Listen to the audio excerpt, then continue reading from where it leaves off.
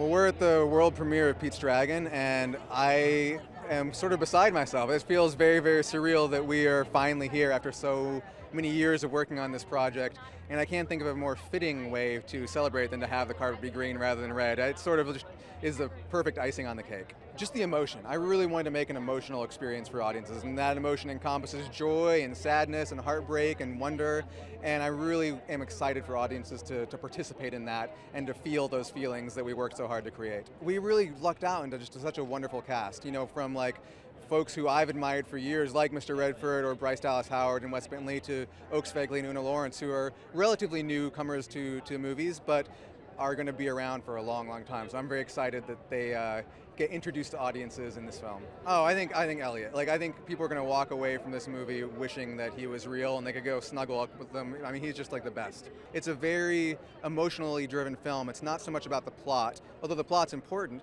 but it's all about the feelings people feel. And I think those feelings are universal. And audiences, I think they transcend language, and I think audiences around the world will really respond to that.